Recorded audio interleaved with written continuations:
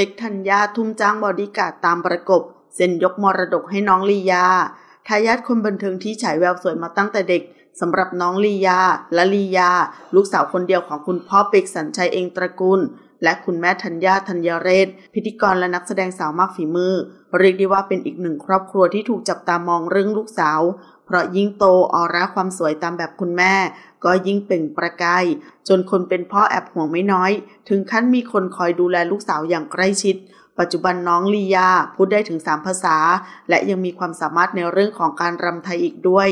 นอกจากนั้นน้องยังเคยไปฝึกใช้ชีวิตด้วยการไปใช้ชีวิตที่ต่างประเทศที่ประเทศอังกฤษ จากการเรียน summer มาแล้ว โดยในปัจจุบันทางครอบครัวของน้องลียา ตัดสินใจให้น้องเรียนที่ประเทศไทย จนถึงจบปริญญาตรี เพราะทางคุณแม่เชื่อว่ามหาวิทยาลัยในไทยที่ดี มีเยอะแยะมากมาย อีกทั้งไม่อยากให้น้องอยู่ห่างจากครอบครัว แต่ถ้าอยากต่อปริญญาโทต่างประเทศ ก็ค่อยว่ากันอีกที ขอขอบคุณข้อมูลจาก lastnewsroom.info ขอบคุณค่ะ